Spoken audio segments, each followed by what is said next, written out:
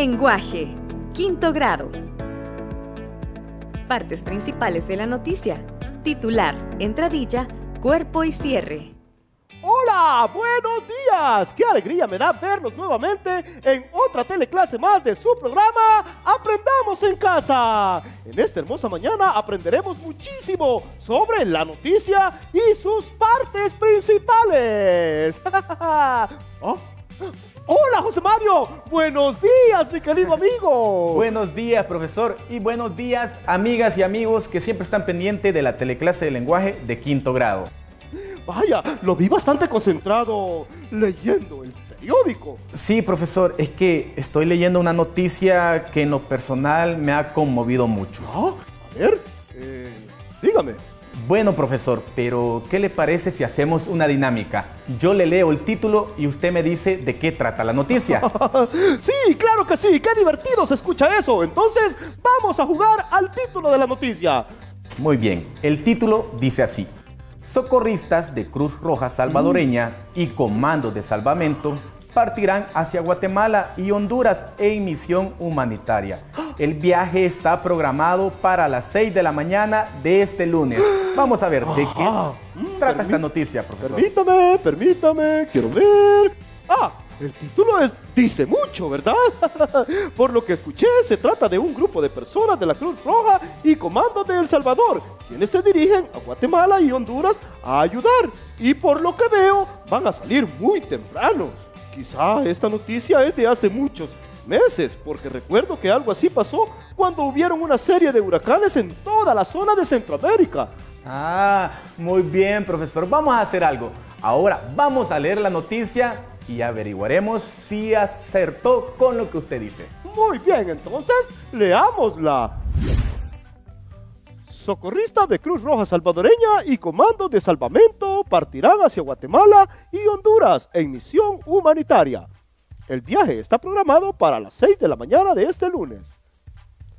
Por Julio Villarán, domingo 8 de noviembre del 2020. Socorristas de Cruz Roja Salvadoreña y de comandos de salvamento con especialidades en diferentes áreas, partirán este lunes a las 6 de la mañana rumbo a las zonas más golpeadas por el huracán ETA en Guatemala y Honduras, según dieron a conocer ambas instituciones. Entre el personal que apoyará con las labores humanitarias por parte de la Cruz Roja, se encuentran siete guardavidas, con especialidad en técnicas de rescate para inundaciones, 10 miembros de la unidad de rescate 15 socorristas y 7 elementos de evaluación de daños y análisis de necesidades, EDAN, entre otros. Además, se suman 6 ENI, que son especialistas en agua, y 5 con especialidad en salud, quienes apoyarán en áreas específicas en los países hermanos. Entre estas tareas está la búsqueda y rescate, evaluación de daños, atención prehospitalaria y otras acciones. El personal se reunió a primeras horas de la noche de este domingo para recibir las respectivas instrucciones y lineamientos institucionales para incorporarse a la misión humanitaria. Es de destacar que el personal de las instituciones será sometido a los respectivos exámenes médicos para asegurar su buen estado de salud. 2020, Diario La Página, Noticias de El Salvador. ¿Qué le pareció la noticia, profesor? Ah, pues tenía mucha razón, José Mario. La noticia es muy conmovedora porque se nota el compromiso de esas instituciones por ayudar a todas aquellas personas que se vieron afectadas por los huracanes. Así es, profesor, y ya vi que usted sí adivinó. Bueno, pero esta noticia es del año pasado, justo cuando los países de Guatemala y Honduras fueron afectados por el huracán ETA. Claro. sí, es que es bien importante mantenerse informado siempre. Eh, ¿Sabe? Me llamó mucho la atención lo que dice el primer párrafo acerca de que las instituciones mencionadas enviaron especialistas en diferentes áreas para ayudar a las zonas más afectadas por el huracán ETA. Así es, profesor, es un trabajo muy arduo y sobre todo de mucho riesgo en este tiempo de pandemia, pero en el último párrafo se menciona que a los especialistas que irán a colaborar a estos países se les realizará un examen para ver si están sanos. Ah, es que es muy importante asegurar la salud de todas esas personas que valientemente iban a ayudar. ya que gracias a ellos se salvan muchas vidas en emergencias como esas. Leer noticias es muy importante porque nos permite enterarnos de cosas buenas que suceden alrededor, como estas personas que fueron a brindar ayuda a los países vecinos. ¡Claro! La noticia es la información de un hecho de interés ocurrido recientemente. Constituye el elemento principal de la información periodística. Así es, también las noticias nos deben de informar sobre hechos reales y actuales. Las noticias escritas están en los periódicos de papel, pero también los podemos encontrar por formato digital. Y estas son las que se leen por internet. Exacto. Por otra parte, la noticia debe presentar una serie de elementos. ¿Sabe usted cuáles son, José Mario? Claro que sí, son el título, entrada o entradilla, Mm. el cuerpo de la noticia y cierre. Exactamente. Ya veo que usted está muy bien informado. Eh, pero yo quiero que les mostremos con más profundidad a nuestros amigos y amigas en qué consisten estos elementos. ¿Qué le parece? Me parece muy bien, profesor. Entonces, veamos. Elementos de la noticia escrita. Titular. Es una síntesis en una o dos líneas sobre lo que trata la noticia. La entradilla o entrada es el primer párrafo de la noticia, en el que se resume la idea central de la información. Cuerpo de la noticia. Acá se desarrolla el tema con más detalles de lo ocurrido. Responde a las cinco preguntas. ¿Qué? ¿Quién? ¿Dónde? ¿Cuándo? ¿Cómo? ¿Y por qué? El cierre es el párrafo final de la noticia, en el que se puede expresar una conclusión, la continuación del hecho o una reflexión.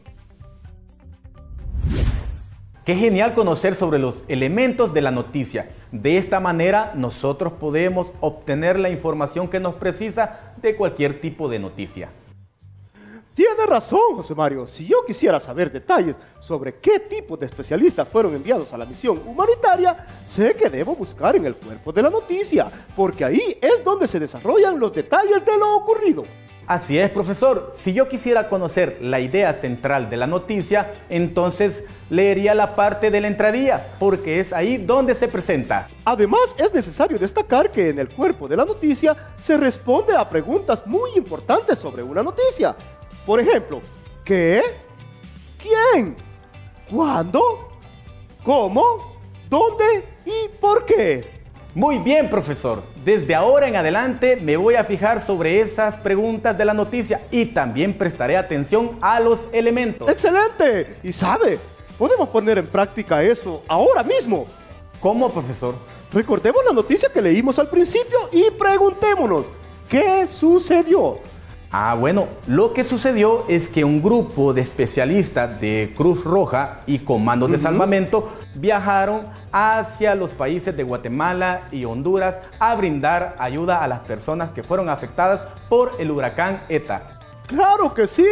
Y si decimos cuándo ocurrieron los hechos, fue en noviembre del año pasado, específicamente el domingo 8 de noviembre y el lunes 9, que es el día en que iban a viajar todos estos especialistas. Y por último, ¿dónde ocurrió? Bueno, ocurrió en nuestro país porque es desde acá que ellos viajaron. Maravilloso, José Mario. Ya vio cómo podemos comprobar que las preguntas claves de la noticia están siendo respondidas. De este modo podemos comprender mucho mejor toda la información que la noticia nos esté comunicando.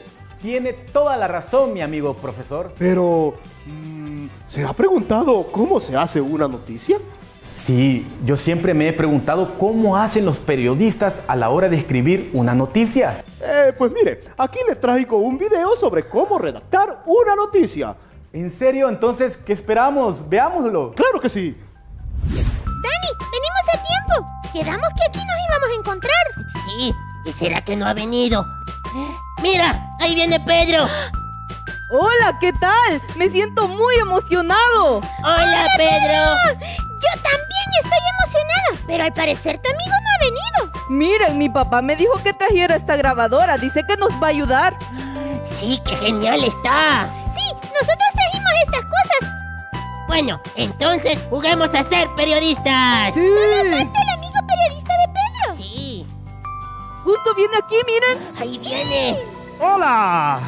Que no le digan, que no le cuenten, porque a lo mejor le mienten. Aquí su periodista de confianza, eficaz y veraz. ¿Verás? ¿Qué verás? ¿Yo veré? ¿Él verá? ¿Tú verás?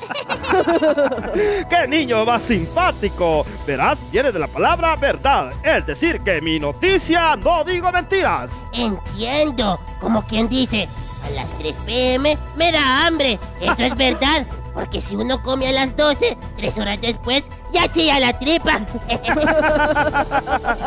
Pero señor periodista, gracias por venir. Yo lo cité porque queríamos aprender de usted. Sí, Eh, con gusto enseño. ¿Qué quieren aprender? Queremos aprender acerca de la noticia. Noticias de verdad, las cosas como son. Entonces jugaremos a ser periodista y hoy les toca cubrir una nota. ¡Eh! cubrir una nota. Tendrá frío, señor. Creo que se refiere a otra cosa, Dani. En efecto, elemental. Quiere decir que vayan a investigar qué está pasando con una situación. Para ello, deben tener claro ciertas cosas. Díganos, que tomaremos nota, ¿verdad, Dani? Eh, tomar nota. Eh, definitivamente, el periodismo es un oficio extraño. Sin duda, hay un problema entre el mono y el perro que quiero que vayan a investigar. Y quiero que respondan a las siguientes preguntas. Sí, vaya. ¿Qué? ¿Quién? ¿Cómo? ¿Cuándo? ¿Y dónde sucedió? ¿Les ha quedado claro? Sí. ¿Qué? ¿Quién? ¿Cómo? ¿Cuándo? ¿Y dónde sucedió? ¡Exacto! Parece fácil.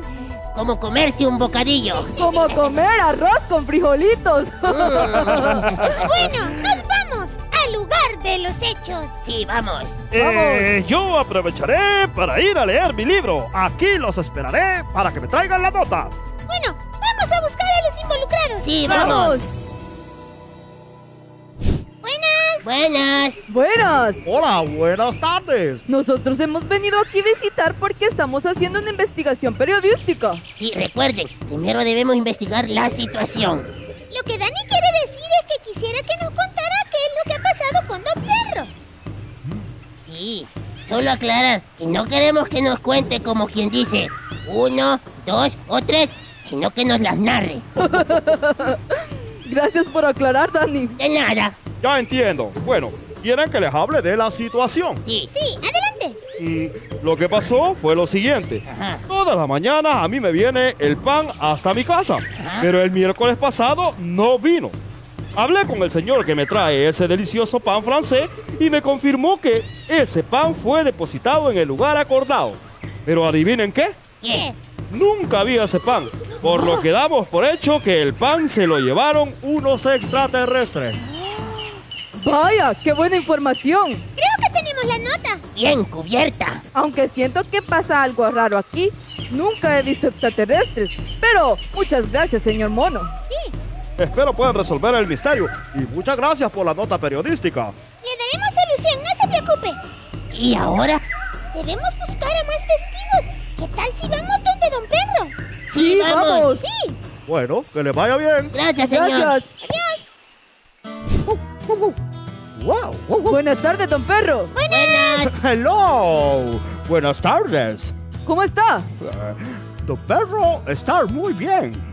Very nice. Ah, usted habla como si está comiendo salpor de almidón sin tomar ni agua. Tu perro está muy bien. Bueno, venimos a investigar.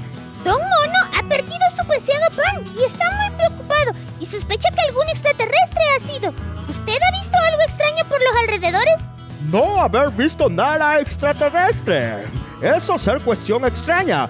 Lo que sí haber visto es un ser extraño por el río. Ustedes deben ir a investigarlo. Bueno, algo raro pasa aquí. Ya recolectamos mucha información de la noticia. Sí, es hora de volver donde el amigo periodista. Sí, vamos. Uh, oh, que les vaya muy bien. Gracias, señor. ¡Suerte! ¡Adiós! Hola amigos, ¿qué tal le fue? Hola. Hola, nos fue muy bien. Tenemos mucha información para responder las preguntas. Ah, muy bien. Recabaron mucha información. Sí, Entonces, veamos lo que pasó.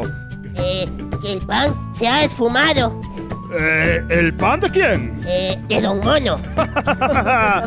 ¿Cuándo pasó eso? El jueves pasado. Ajá. Ah, muy bien. A ver, dígame, eh, ¿dónde fue? Investigamos que fue cerca del río. Nos hace falta saber el cómo. Sí, veo que han aprendido mucho sobre la noticia, pero deben llegar al final resolviendo el misterio del pan desaparecido. ¡Sí! ¡Los felicito! Gracias, señor. Gracias, hemos aprendido mucho de usted. Hola niños, tal parece que necesitan ayuda. Parece que un fantasma recorre todo Titirilandia. O será un monstruo, un alien o un pan volador. Esta historia periodística continuará el próximo miércoles. Claro que con mi ayuda. Después de ver este video, ya me dieron ganas de escribir mi propia noticia. Claro, y yo lo animo a hacerlo. También a nuestras amigas y amigos en casa. Pueden crear sus noticias a partir de cosas que suceden en sus casas o en su comunidad. Así es, profesor. Lastimosamente, el tiempo se nos ha terminado, pero no nos vamos sin decirles que esta teleclase les ayudará a resolver las actividades de la guía de esta semana. Claro que sí. Y recuerden que si se han perdido alguna teleclase, la pueden encontrar en el canal de YouTube. Aprendamos en casa El Salvador. Nos vemos hasta la próxima, aquí en su programa Aprendamos en casa. Adiós.